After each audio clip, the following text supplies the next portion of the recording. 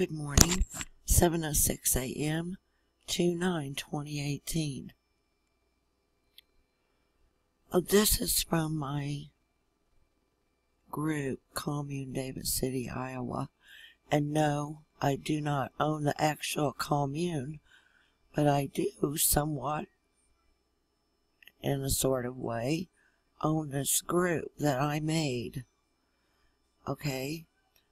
Um, this is uh, the main photo, the profile photo, I guess you might say.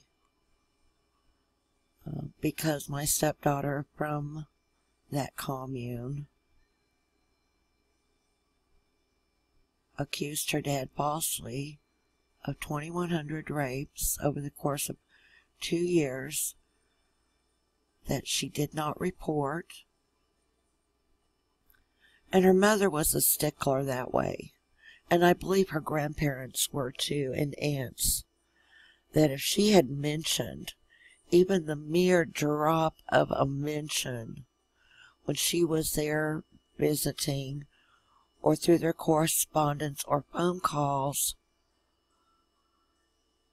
they would have lowered the boom on John Myers. Do you, do you know what I mean? Lowered the boom, meaning sent the sirens wailing. If she had even so much as mentioned that he touched her. Okay? And I didn't mention it in yesterday's screencast. And after I played it through again, I realized, oh, I didn't mention this, I didn't mention that, because I've got things kind of lumped up in the in the way I have had to deal with it or think it through or whatever you want to call it. Uh, I forgot where I was going with that. oh man, it is old age. Uh, maybe I can come back to it. Let me pause a second. Okay, I remembered. Uh, she told them that I was off at friends visiting all the time when the so called rapes occurred. Alright? I wasn't. I wanted them so badly to pick up my, at the time we didn't have internet, my phone book. It was an opera book with the blanks to fill in alphabetically to put contacts in. Old fashioned contact list, okay? Personal phone book. But they didn't, and it sat right there on the coffee table. See, we had a, a formal front room just off of the dining room, and then we also had a family room, you know, so a person wouldn't walk in the house and see somebody stretched out on the couch or, you know, eating a big bowl of popcorn or something. And that's how I liked it. Okay. But I wasn't at these friends. I was totally dedicated to my home. I didn't really know anyone except for the 12 step groups. And there weren't a lot of females well, when I first joined in like 80, I was the only female in that whole group. So I became their secretary treasurer. And then I took other positions in the group too, all of which were non paying jobs, but, you know, it was something to do for others. Because you're better off if you can get out of yourself and do things for other people every once in a while you know. So you're not totally self serving. You do something for others. All right. I'm not too kicked up on this coffee this morning. I just got a new coffee pot and I used this Dunkin' Donuts for K cups, but I opened three of them. It's only a three cup pot.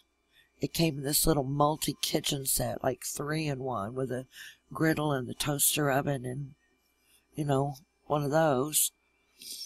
And it's just, eh, I don't really like it, but uh, I'm going to drink it and suffer through it. Okay?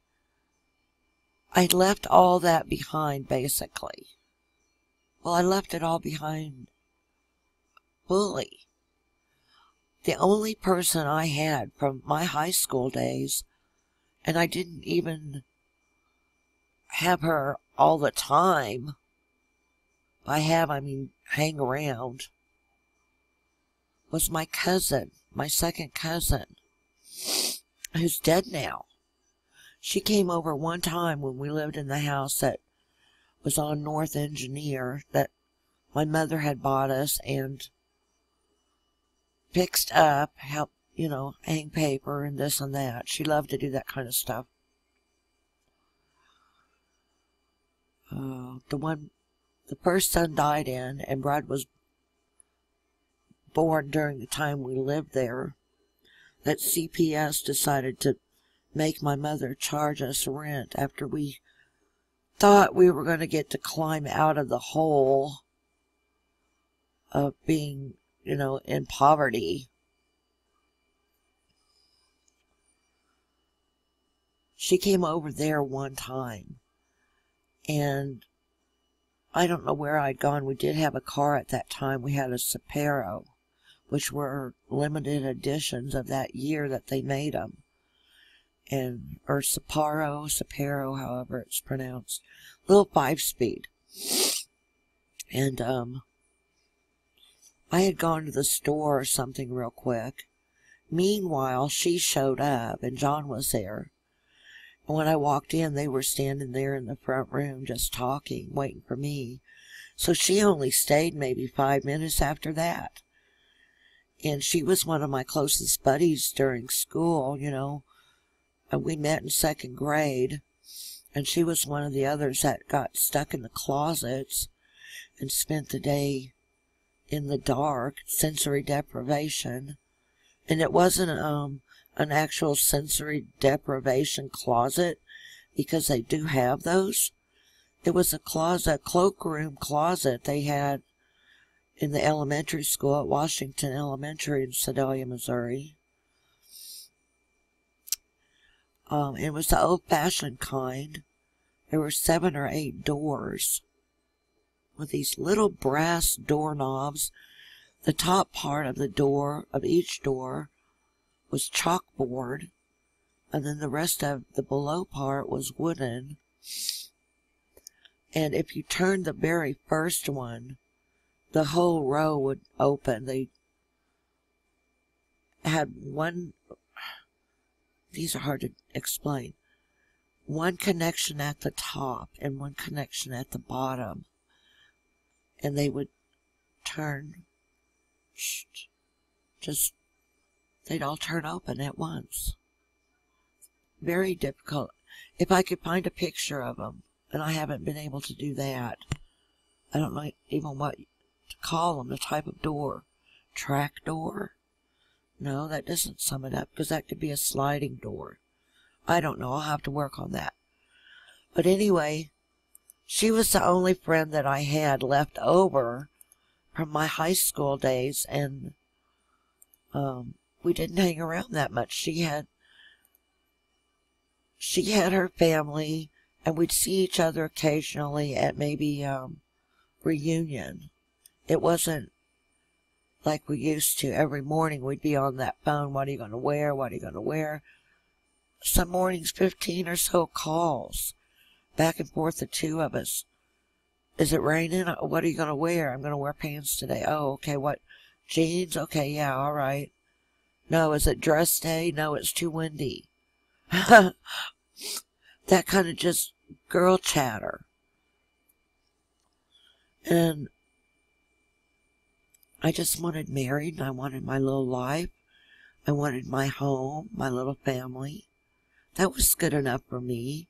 Why isn't that good enough for some people? You know, I didn't have a big lottie doll social life. Woohoo. Lots in Sedalia do. I do know that. They have big whoop-de-doo social lives, and I guess they feel that they wouldn't be who they are if not for that, you know. I don't happen to feel that way. But I was treated as if she was right and I was wrong. So I hope they had, I hope they would have picked up that book to thumb through and say, look, she said you were at Friends. So this whole total thing was barrel rolled against us. They didn't even pick up the book to thumb through. And of course, too, over the years, I didn't have some of the contacts in that book. So it would take a little label or even a sticky envelope edge, you know, the flap edge, and just cut the pasty part off and use it to cover over addresses and phone numbers I didn't contact anymore. I wish I didn't have this cold. Wow. But see, every single thing went her way.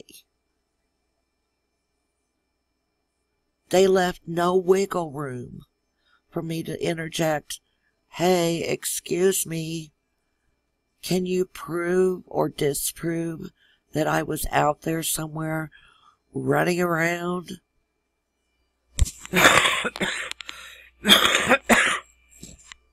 Because I didn't even get that, people. I didn't even get that. They were totally aligned in bias against us. Okay, so then I popped over here this morning and I got this uh, search open for LDS female priests.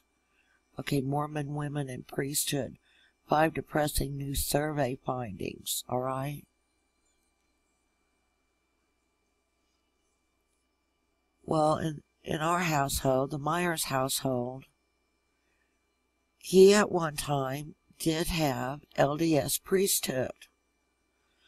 And I don't even know enough about this LDS priesthood thing to know how similar or how not similar it is to the Catholic Church which I only know a smidgen about, because although I do have Catholic family, and my family has had Catholic acquaintances, like my mom's best friend was Catholic, you know, in her family. And cousins on my dad's side, including the cousin I was telling you about earlier that I had lost contact with, um, they were all Catholic. You know, but we weren't, so maybe they were viewing it like, well, you're what your family is. Or you're with the majority of your family. Wrong. That is totally wrong. Okay? Not that there's something wrong with them.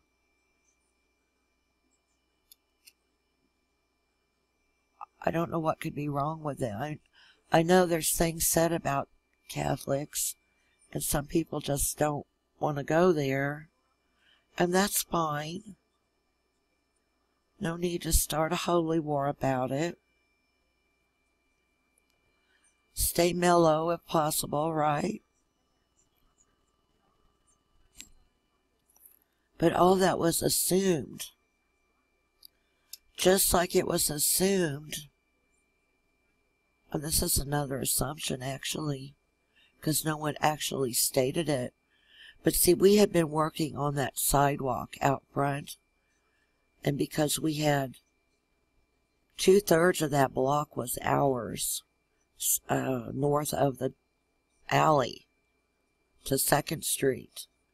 We were taking that brick up, and John had placed a yellow caution tape similar, if not identical, to what the police use. So maybe when they, by the time they got there, they're like, oh, somebody's been here to, you know, gather DNA evidence or whatever, because there's the tape. So it could be that too. So thanks for watching. I'm out of time.